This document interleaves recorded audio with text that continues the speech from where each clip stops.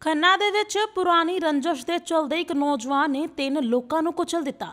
ਇਹ ਘਟਨਾ ਰਾਮਗੜ੍ਹ ਪਿੰਡ ਦੀ ਦੱਸੀ ਜਾ ਰਹੀ ਹੈ। ਇੱਥੇ ਇੱਕ ਵਿਅਕਤੀ ਗੰਭੀਰ ਰੂਪ ਦੇ ਵਿੱਚ ਜ਼ਖਮੀ ਹੋ ਗਿਆ ਹੈ। ਪੁਲਿਸ ਨੇ ਫਿਲਹਾਲ ਕਾਰ ਚਾਲਕ ਦੇ ਖਿਲਾਫ ਕਤਲ ਦਾ ਮਾਮਲਾ ਦਰਜ ਕਰ ਲਿਆ ਹੈ। ਘਟਨਾ ਦਾ ਵੀਡੀਓ ਵੀ ਸਾਹਮਣੇ ਆਇਆ ਹੈ। ਡੀਐਸਪੀ ਨੇ ਜਾਣਕਾਰੀ ਦਿੰਦੇ ਹੋਏ ਦੱਸਿਆ ਕਿ ਮਾਰਨ ਦੀ ਨੀਅਤ ਦੇ ਨਾਲ ਵਿਅਕਤੀਆਂ ਦੇ ਉੱਤੇ ਗੱਡੀ ਚੜਾ ਦਿੱਤੀ ਗਈ, ਜਿਸ ਘਟਨਾ ਦੇ ਵਿੱਚ ਉਹ ਗੰਭੀਰ ਜ਼ਖਮੀ ਹੋ ਗਏ ਨੇ।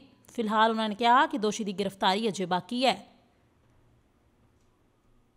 ਬਿਊਰੋ ਰਿਪੋਰਟ ਅੱਜ ਦੀ ਆਵਾਜ਼। ਸਰ ਇੱਕ ਵੀਡੀਓ ਸਾਹਮਣੇ ਆਈ ਹੈ ਜਿਹਦੇ ਵਿੱਚ ਤਿੰਨ ਵਿਅਕਤੀਆਂ ਦੇ ਗੱਡੀ ਚੜਾਈ ਜਾਂਦੀ ਹੈ। ਸਰ ਕੀ ਮਾਮਲਾ ਜੀ ਇਹ ਇਹ ਰਾਮਗੜ੍ਹ ਅ, ਪਿੰਡ ਦਾ ਮਾਮਲਾ ਹੈਗਾ ਜਿੱਥੇ ਜਿਹੜਾ ਹੈਗਾ ਉਪਕਰਨ ਸਿੰਘ ਜਿਹੜਾ ਕੰਪਲੇਨੈਂਟ ਹੈ ਉਹਨੇ ਕੰਪਲੇਂਟ ਕੀਤੀ ਹੈਗੀ ਹੈ ਇੰਦਰਜੀਤ ਦੇ ਖਿਲਾਫ।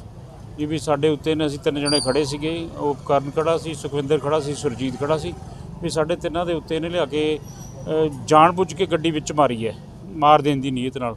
ਜਿਹਦੇ ਤੇ ਅਸੀਂ 307 ਤੇ 14 F I number 14 under section 307 IPC ਦੇ ਮਾਮਲਾ ਦਰਜ ਕਰ ਲਿਆ ਜਿਹਦੇ ਵਿੱਚ ਇਹਦਾ ਸੁਖਵਿੰਦਰ ਹੈ ਜਿਹਦੇ ਹੈਡ ਇੰਜਰੀ ਆਈ ਹੈ ਸਿਰ ਦੇ ਵਿੱਚ ਤੇ ਹੋਰ ਸੱਟਾਂ ਵੀ ਲੱਗੀਆਂ ਨੇ ਉਹ ਹਸਪੀਟਲ 'ਚ ਦਾਖਲ ਹੈ ਆਈਵੀ ਹਸਪੀਟਲ 'ਚ ਦਾਖਲ ਹੈ। ਬਾਕੀ ਅਗਲੀ ਕਾਰਵਾਈ ਅਸੀਂ ਤਫਤੀਸ਼ ਦੌਰਾਨ ਕਰਾਂਗੇ ਬੰਦਿਆਂ ਦੀ ਅਰੈਸਟ ਵਾਲੇ ਬਾਕੀ ਹੈ ਐਫ ਆਈ ਆਰ ਅਸੀਂ ਇਮੀਡੀਏਟਲੀ ਦੇਤੀ ਹੈ। ਸਰ ਮੁੱਢਲੀ ਜਾਂਚ ਕੀ ਸਾਹਮਣੇ ਆਇਆ ਉਹਨੇ ਕਿਉਂ ਗੱਡੀ ਚੜਾਈ ਜੀ? ਮੁੰਡਲੀ ਜਾਂਚ ਇਹ ਸਾਹਮਣੇ ਆਇਆ ਕਿ ਇਹਨਾਂ ਦਾ ਕੋਈ ਪਹਿਲਾਂ ਆਪਸ ਦੇ ਵਿੱਚ ਪੈਲਸ ਦੇ ਵਿੱਚ 2-4 ਦਿਨ ਪਹਿਲਾਂ ਕੋਈ ਝਗੜਾ ਝੁਗੜਾ ਹੋਇਆ ਸੀਗਾ। ਉਹਦੇ ਰਿਵੈਂਜ 'ਚ ਇਹਨੇ ਇਹ ਕੰਮ ਕੀਤਾ।